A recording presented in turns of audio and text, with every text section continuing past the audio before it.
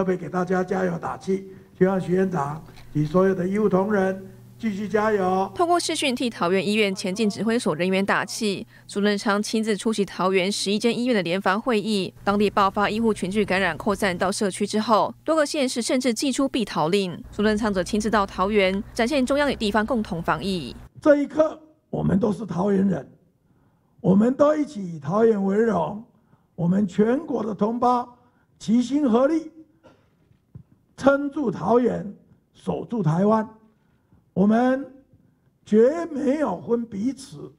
不过，多个蓝营执政县市，包括澎湖、云林等，一度要求公务员避免到桃园洽公。时隔一天，多名首长都改口否认有避逃令，纷纷表达与桃园站在一起。国民党主席江启臣也缓颊，表示地方首长出发点为防疫，但他也认为不应该造成歧视，同时驳斥所谓蓝营县市一同发起避逃令的说法。其他县市。啊，基于防疫的这些考量，各县市长有他们自己的一些想法。但是呢，我认为他们的出发点都是为了防疫。